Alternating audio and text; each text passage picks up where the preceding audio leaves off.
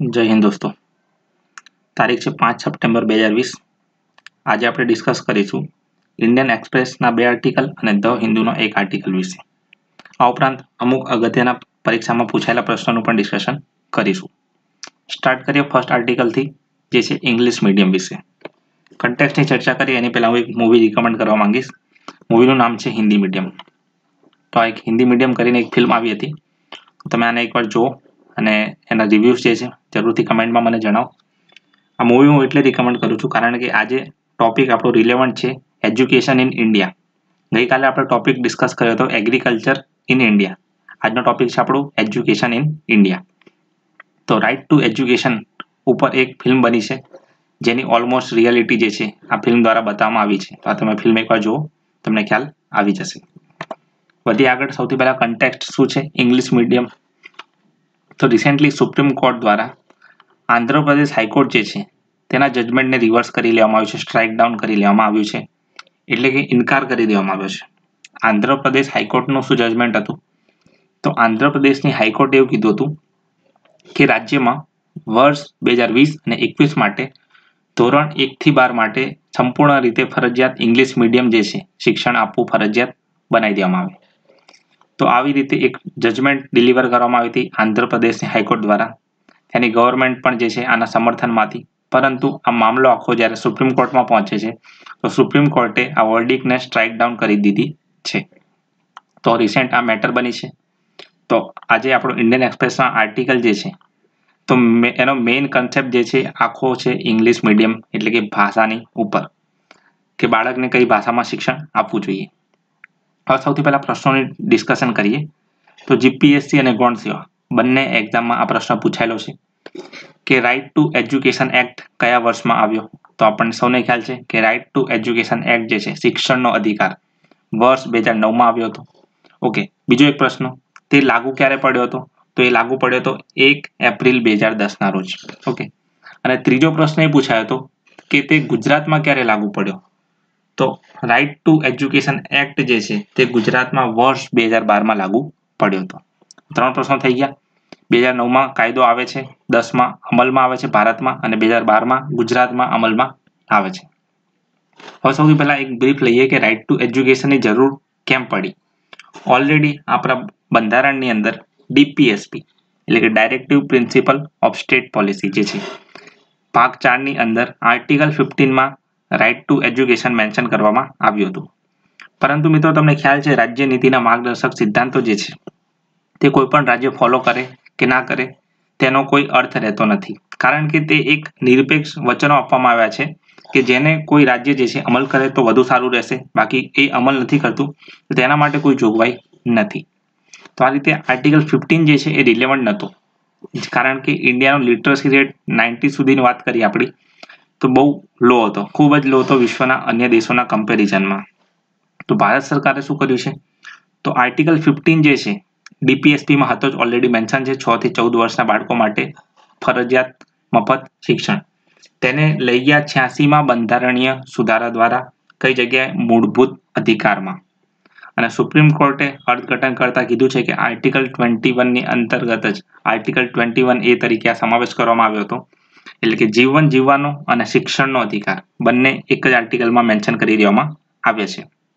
તો શિક્ષણના અધિકાર માટે એક નવો ક્લોઝ ઉમેરવામાં આવ્યો, જે છે અનુચ્છેદ ટ્વેન્ટી વન ક્લોઝ એ તો આર્ટિકલ ટ્વેન્ટી વન ક્લોઝ એમાં જે છે રાઇટ ટુ એજ્યુકેશનને છ્યાસીમાં બંધારણીય સુધારા વર્ષ બે હજાર બેમાં દાખલ કરવામાં આવ્યો.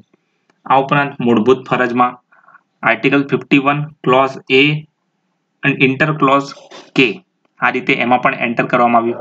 જેથી કરીને જો કોઈ પણ રાષ્ટ્ર જે છે, તેનું લિટરસી રેટ સારો હશે, તો એ દેશ જે છે, તેનો વિકાસ જે છે ઓટોમેટિક થવા લાગશે. વાત કરીએ હવે સૌથી પહેલા.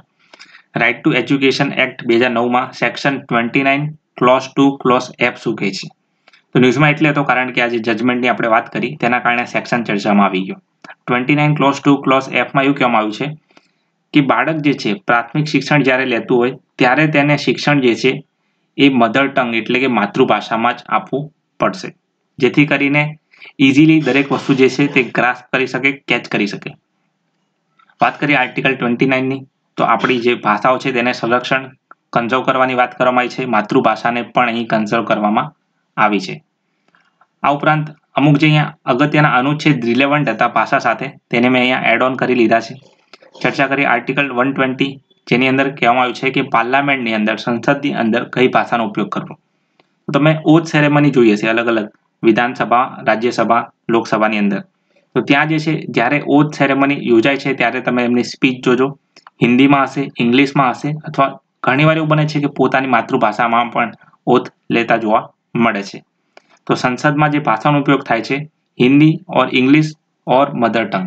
કોઈ પણ હોઈ શકે, under article one twenty.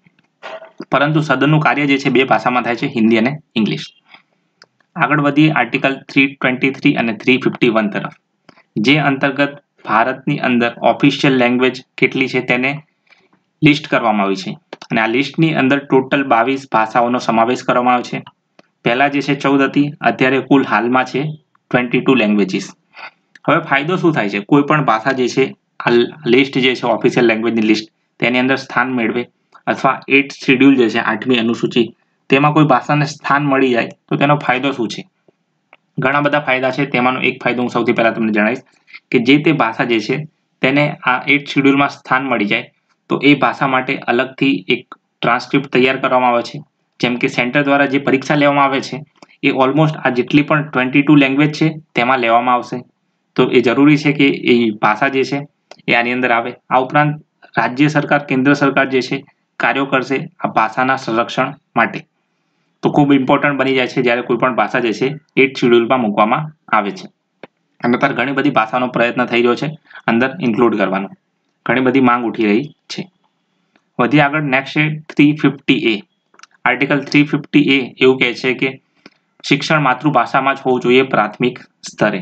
Again તો આ જો આર્ટિકલ થ્રી ફિફ્ટી એ એકદમ સિમિલર છે right to education એક્ટના section twenty nine two clause F જેવો જ કે પ્રાથમિક સ્તરે માતૃભાષામાં શિક્ષણ આપવું જોઈએ. બધી આર્ટિકલ થ્રી ફિફ્ટી વન તરફ જેની અંદર સ્ટેટ સ્ટેટ એટલે કે ભારત દેશ જે છે, હિન્દી ભાષાનો પ્રચાર કરશે તેવું મેન્શન કરવામાં આવ્યું છે. નેક્સ્ટ છે એનઈપી આપણે રિસેન્ટલી આના પર એક વીડિયો અપલોડ કર્યો હતો નેશનલ એજ્યુકેશન પોલિસી તૈયાર કરવામાં આવી છે ઇસરોના પૂર્વ અધ્યક્ષ ડોક્ટર કસ્તુરી રંગન દ્વારા. હવે નેશનલ એજ્યુકેશન પોલિસી જે છે આપણે ઓલમોસ્ટ ડિસ્કસ કરી હતી, તેની અંદર એક અગત્યની વસ્તુ મેન્શન કરવામાં આવી હતી થ્રી લેંગ્વેજ ફોર્મ્યુલા આનો લાસ્ટ યર જ્યારે ડ્રાફ્ટ રિલીઝ થયો હતો વર્ષ બે હજાર ઓગણીસમાં, ત્યારે તમિલનાડુ, કેરળ, કર્ણાટક જે સાઉથ ઇન્ડિયાના અમુક સ્ટેટ છે તેના દ્વારા ખૂબ જ વિરોધ કરવામાં આવ્યો હતો. વિરોધ કરવામાં આવ્યો હતો ત્યારે જે બ્લેક લોકોના હાથમાં હતા, તેની અંદર એવું લખવામાં આવ્યું બેનરની અંદર કે સેન્ટ્રલ ગવર્મેન્ટ જે છે એ હિન્દીનું ઇમ્પોઝિશન કરી રહી છે. એટલે કે હિન્દી જે છે, જબરજસ્તી એ લોકો જોડે ઇમ્પોઝ કરાઈ રહી છે. સમજી આખી મેટર? તો આ થ્રી લેંગ્વેજ ફોર્મ્યુલા જે છે નેશનલ એજ્યુકેશન પોલિસીમાં ઇન્ટ્રોડ્યુસ કરવામાં આવ્યો હતો. જેમાં એવું કહેવામાં આવ્યું છે કે આપણે શિક્ષણ માટે ત્રણ ભાષાનો આપણે પ્રાઇમરીલી ઉપયોગ કરવાનું છે, એ પણ ધોરણ પાંચ સુધી. કઈ ત્રણ ભાષા? તો સૌથી પહેલા જે તે વ્યક્તિ વિસ્તારની માતૃભાષા. બીજી હશે હિન્દી અને ઇંગ્લિશ. તો આ ત્રણ ભાષાનો ઉપયોગ કરવાનો છે. જે હિન્દી અને ઇંગ્લિશ જે છે એને ટુ થ્રી થ્રી ટુ કરી શકાય ઉપર નીચે. પ્રથમ જે છે માતૃભાષા રહેશે. તો આ ફોર્મ્યુલા તૈયાર કરવામાં આવ્યો હતો નાઇન્ટીન સિક્સટી એટમાં કોઠારી કમિશન દ્વારા. આ ઉપરાંત નેશનલ એજ્યુકેશન પોલિસીમાં પણ આ ફોર્મ્યુલા રિકમેન્ડ કરવામાં આવ્યો છે. અને આપણે ખ્યાલ છે વર્ષ બે હજાર વીસમાં એટલે કે રિસેન્ટલી જ એનઈપીને હવે મંજૂર કરી દેવામાં આવ્યું છે. એટલે કે થ્રી લેંગ્વેજ ફોર્મ્યુલા ધોરણ પાંચ સુધી હવે લાગુ પડી જશે. ત્રણ ભાષા છે ફર્સ્ટ માતૃભાષા રહેશે અને હિન્દી અને ઇંગ્લિશ. હા, તમે ઘણીવાર સાંભળ્યું હશે હોમ મિનિસ્ટરની સ્પીચમાં વન નેશન વન લેંગ્વેજ એનું કારણ એ જ છે કે તે, તેની પણ દરેક મિનિસ્ટર જે છે આર્ટિકલ થ્રી ફિફ્ટી વનને પ્રમોટ કરે છે. એટલે કે હિન્દીને રાષ્ટ્રભાષા તરીકે પ્રમોશન કરવાનો પ્રયાસ કરવામાં આવી રહ્યો છે. હવે આનું એક સર્વશ્રેષ્ઠ ઉદાહરણ જે છે આર્ટિકલમાં ઇન્ડિયન એક્સપ્રેસના આર્ટિકલની અંદર આપવામાં આવે છે. આપણે લાસ્ટ વીક ડિસ્કસ કર્યું હતું નમત બસઈ શું છે. તો સર્વ શિક્ષા અભિયાન અંતર્ગત કેરળની અંદર જે છે, ઘણા બધા પ્રયાસો થઈ રહ્યા છે. કેરળનો લિટરસી રેટ જે છે, એ ભારતમાં સૌથી હાઈએસ્ટ છે. તો નમત બસઈ જે છે, શું હતું? એક કાર્યક્રમ હતો, આપણે લાસ્ટ વીક ડિસ્કસ કર્યો હતો. કેરળ દ્વારા શરૂ કરવામાં આવ્યો હતો. મેં કીધું હતું આ પ્રશ્ન એક બની શકે કે કોના દ્વારા શરૂ કરવામાં આવ્યો હતો. તો જે આદિ જનજાતિ છે ટ્રાઇબલ લોકો જે છે, જંગલમાં વસતા, તેમના માટે એક કાર્યક્રમ નમત બસઈ શરૂ કરવામાં આવ્યો હતો. તેમને તેમની જ માતૃભાષામાં યુટ્યુબ ચેનલ દ્વારા એક બેઝિક શિક્ષણ આપવામાં આવશે બેઝિક એજ્યુકેશન ત્યાંના બાળકોને. કારણ કે જો રિમોટ એરિયામાં શિક્ષકો જઈ શકતા નથી અથવા બાળકો જે છે એ ત્યાંથી દુર્ગમ વિસ્તારમાંથી બહાર આવી શકતા નથી. અને કોવિડ નાઇન્ટીનના કારણે આ વસ્તુ જે છે હાલ સહેજ પણ શક્ય નથી. તેથી કેરળ સરકાર દ્વારા નમત બસઈ શરૂ કરવામાં આવ્યું જેના દ્વારા યુટ્યુબ પર માતૃભાષામાં શિક્ષણ અપાશે. તો આ એક એક્ઝામ્પલ થઈ ગયું. આગળ વાત કરીએ તો ઇન્ડિજિનિયસ લેંગ્વેજ સ્વદેશી ભાષાઓનું વર્ષ જે છે, બે હજાર ઓગણીસને જાહેર કરવામાં આવ્યું છે. કોના દ્વારા? યુએનજીએ દ્વારા. હવે યુએનજીએ તમને ખ્યાલ હોવો જોઈએ, આપણે ગઈકાલે ડિસ્કસ કર્યું હતું. યુનાઇટેડ નેશન અંતર્ગત એક બોડી છે, જેને આપણે કહીએ છીએ સંયુક્ત રાષ્ટ્ર સામાન્ય સભા યુનાઇટેડ નેશન જનરલ એસેમ્બલી તો કયા વર્ષને જાહેર કર્યું છે? તો વર્ષ બે હજાર ઓગણીસને. અને બે અન્ય ફેક્ટ જે આપણે યાદ રાખવાના છે. રાષ્ટ્રીય હિન્દી દિવસ ક્યારે ઉજવાય છે? તો it is fourteenth of September અને વિશ્વ હિન્દી દિવસ એટલે કે વર્લ્ડ હિન્દી ડે દસ જાન્યુઆરીના દિવસે ઓબ્ઝર્વ કરવામાં આવે છે. તો ઓલમોસ્ટ હવે ચૌદ સપ્ટેમ્બર તો હવે તૈયારી જ છે. રાષ્ટ્રીય હિન્દી દિવસ તમારે યાદ રાખવાનો છે. જ્યારે ચૌદ સપ્ટેમ્બરના આર્ટિકલ આપણે ડિસ્કસ કરતા હશું, ત્યારે હું તમને પૂછીશ કે વિશ્વ હિન્દી દિવસ જે છે, ક્યારે ઉજવવામાં આવે છે. આ ઉપરાંત અહીંથી અમુક અનુચ્છેદ જે છે, એ પણ પૂછીશ. બસ તમને રિકોલ કરતા આવડવું જોઈએ. વધ્યા આગળ. નેક્સ્ટ એક મિલિટરી એક્સરસાઇઝ છે. ન્યૂઝમાં આવી છે લાઈવ ફાયર યુદ્ધ અભ્યાસ.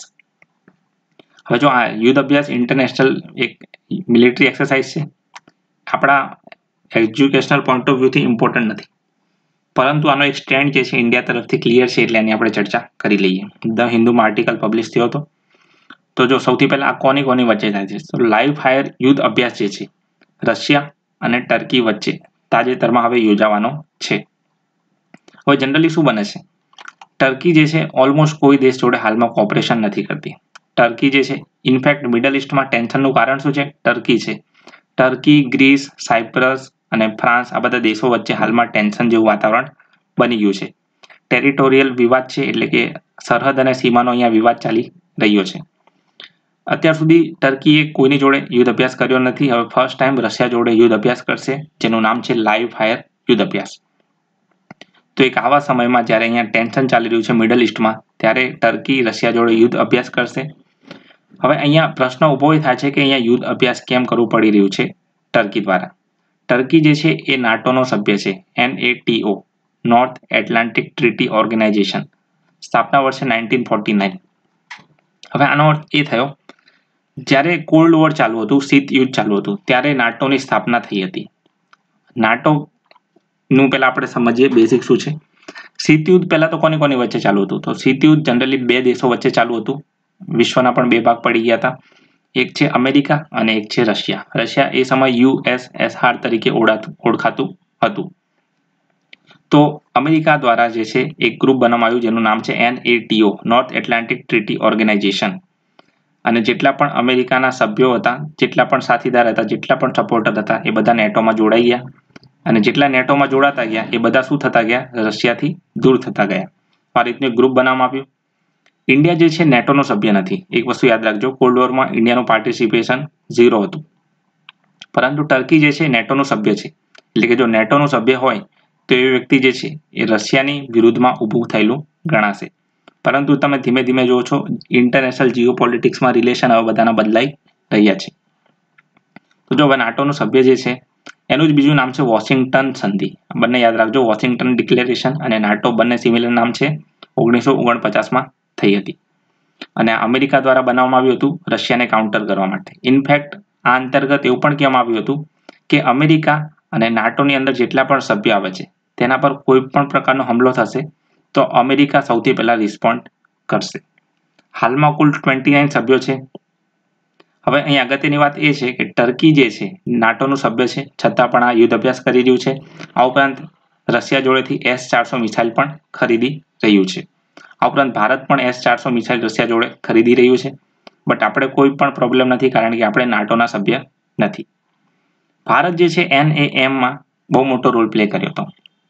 હવે આ એક અગત્યની સંસ્થા છે એન એ એમ બીજું નામ છે હવાના ડિક્લેરેશન તો non alignment movement non align movement જે ઓગણીસો પંચાવનમાં ઇન્ડોનેશિયાનું એક શહેર છે, બાંડુંગ, ત્યાં થઈ હતી. જે અંતર્ગત એકસો વીસ દેશોએ ભાગ લીધો હતો. તો એનએમ શું છે? તો એનએમ કરીને એક સંસ્થા બનાવવામાં આવી, જેમાં આ વિશ્વના મોટા મોટા દેશો જે હતા એ સમયે, જેમ કે અમેરિકા છે, રશિયા છે, ચીન છે, જાપાન છે અને યુરોપ છે. તો આ આ બધા દેશો જે છે, સંગઠનો, એ બધાથી દૂર આ જેટલા પણ દેશો હતા, એ બધા આ યુદ્ધમાં જોડાવા ન માંગતા હતા. એટલે પોતાનું સ્ટેન્ડ ક્લિયર હતું કે તે કોઈની સાઈડ છે નહીં અને પોતે યુદ્ધનો ભાગ નથી બનવા માંગતા. તેના માટે એન એ એમની રચના કરવામાં આવી, નોન અલાઇન મુવમેન્ટની. અને ભારતે અહીંયા એક લીડરશિપ પ્લે કરી અને ભારત જે છે ફાઇનલી એને એમનો સભ્ય, સ્થાપક સભ્ય દેશ પણ બની ગયો. તો આનું પહેલી વાત છે વડુ મથક પાંડુંગ ઇન્ડોનેશિયા અને આનું જે છે બીજું નામ છે હવાના ડિક્લેરેશન હવે જ્યારે કોઈ સંસ્થા બને છે તો એક સંસ્થાનું એક ડોક્યુમેન્ટ હોય છે, એનું બંધારણ હોય છે. પરંતુ આ એન એ એમ જે છે એનું કોઈ બંધારણ નથી. એટલે આ એક સંસ્થા જે છે, એક ઇનઓપરેશનલ સંસ્થા કહી શકીએ છીએ. અને પાછળથી નાઇન્ટીન સેવન્ટી નાઇનમાં એકવાર બધા દેશો મળે છે અને એનું બીજું નામ બદલીને કરે છે, હવાના ડિક્લેરેશન. વાત કરીએ આપણે લાઈવ ફાયર યુદ્ધ વિશે. આગળ વધીએ છીએ જી ટ્વેન્ટી તરફ. હવે જી ટ્વેન્ટીની ફોરેન મિનિસ્ટરની રિસેન્ટલી બેઠક યોજાઈ ગઈ. હવે ઇન્ડિયન એક્સપ્રેસના આર્ટિકલની અંદર માત્ર ને માત્ર જી ટ્વેન્ટી વિશે માહિતી આપવામાં આવી હતી. એક્ઝામ પોઈન્ટ ઓફ વ્યૂથી ઇમ્પોર્ટન્ટ નથી, પરંતુ એક્ઝામ પોઈન્ટ ઓફ વ્યૂથી ઇમ્પોર્ટન્ટ જે કંઈ પણ માહિતી હતી, એ અહીંયા સ્ક્રીન સામે મેં અહીંયા એડ કરી લીધી છે, તમે જોઈ શકો છો. હવે જો જી ટ્વેન્ટીમાં વર્ષ બે હજાર વીસ માટેની અધ્યક્ષતા જે છે, એ સાઉદી અરબે પ્રથમવાર કરી છે. તો અત્યાર સુધી કોઈ પણ ગલ્ફ કન્ટ્રી જે છે જી ટ્વેન્ટીની અધ્યક્ષતા ન કરી હતી. તો સાઉદી અરેબિયા જે છે, સૌ પ્રથમવાર એટલે કે યુએઈ દ્વારા સૌ પ્રથમવાર અધ્યક્ષતા કરવામાં આવી છે. આ ઉપરાંત વર્ષ બે હજાર એકવીસની વાત કરીએ તો વર્ષ બે હજાર એકવીસની મિટિંગની અધ્યક્ષતા કરશે ઇટલી અને એનાથી પણ વધારે ઇમ્પોર્ટન્ટ ક્વેશ્ચન બની રહેશે આપણા માટે વર્ષ બે હજાર બાવીસ. જ્યારે આઝાદીના પંચોતેર વર્ષ પૂર્ણ થઈ જશે. એટલે કે સેવન્ટીન્થ એની હશે આવૃત્તિ. તો જે જી ટ્વેન્ટીની એન્યુઅલ મિટિંગ હશે વર્ષ બે હજાર બાવીસની, તે યોજાશે ભારતમાં દિલ્હી ખાતે. ઇવન તમને જો ખ્યાલ હોય, તો આ વર્ષના બજેટની અંદર ગવર્મેન્ટ ઓફ ઇન્ડિયા દ્વારા અલગથી સો કરોડની જોગવાઈ કરવામાં આવી છે બે હજાર બાવીસની જી ટ્વેન્ટી સમિટ માટે. એટલે કે સો કરોડના ખર્ચની જોગવાઈ જે છે, અલગથી કરી લેવામાં આવી છે વર્ષ બે હજાર બાવીસ માટે. સૌથી ઇમ્પોર્ટન્ટ વાત છે, ભારતની આઝાદીના પંચોતેર વર્ષ બે હજાર બાવીસમાં પૂર્ણ થશે. આ ઉપરાંત આ મિટિંગ જે થઈ હતી, એની અંદર ચર્ચા થઈ હતી બે અલગ અલગ વસ્તુઓની. વંદે ભારત મિશન અને એર બબલની. તો બંનેની ચર્ચા આપણે કરી લઈએ. તો વંદે ભારત મિશન જે છે, તેનો મુખ્ય ઉદ્દેશ્ય વિદેશમાં ફસાયેલા ભારતીયો જે છે, તેમને પરત લાવવાના હતા. તો ઓલમોસ્ટ આ મિશન જે છે, અત્યારે પણ કાર્યરત છે. તો વંદે ભારત મિશન શેની સાથે સંકળેલું છે, એ આપણને હેતુ ખ્યાલ હોવો જોઈએ. આવી જ રીતે એક ઓપરેશન હતું ઓપરેશન સમુદ્ર સેતુ, જે વંદે ભારત મિશનનો એક ભાગ હતો. જેની અંદર વિદેશમાં ફસાયેલા ભારતીયો જે છે, તેમને જળ માર્ગે પાછા લાવવામાં આવવા પાછા લાવવામાં આવતા હતા. અને બે જહાજનો ઉપયોગ થયો હતો, એક એક હતું આઈએનએસ જલસ્વ અને એક હતું આઈએનએસ મગર. તો બે જહાજ હતા આઈએનએસ જલસ્વ અને આઈએનએસ મગર. અને લાસ્ટ અહીંયા ફેક્ટ આપવામાં આવે છે જી ટ્વેન્ટીનું વડું મથક જે હાલમાં કોઈ પણ છે નહીં. એટલે કે એન્યુઅલી આની મિટિંગ થાય છે, જે તે દેશ અધ્યક્ષતા કરે છે, પરંતુ આનું કોઈ વડું મથક છે નહીં. આની પહેલાં આપણે આસિયાનની ચર્ચા કરી હતી, તો આ રીતે આપણે ઇન્ટરનેશનલ ઓર્ગેનાઇઝેશનનો પાર્ટ થઈ ગયો આપણો જી ટ્વેન્ટી આર્ટિકલ પબ્લિશ થયો હતો ઇન્ડિયન એક્સપ્રેસમાં